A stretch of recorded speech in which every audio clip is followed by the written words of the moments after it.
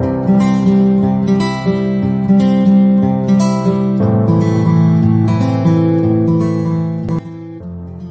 उपयोग मिर्गी और द्विध्रुवी विकार के इलाज के लिए किया जाता है।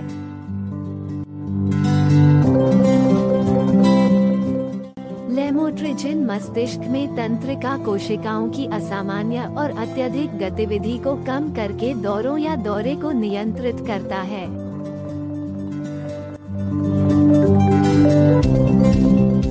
अपने डॉक्टर द्वारा सलाह के अनुसार इस दवा को खुराक और अवधि में लें। इसे भोजन के साथ या बिना लिया जा सकता है, लेकिन इसे एक निश्चित समय पर लेना बेहतर है धन्यवाद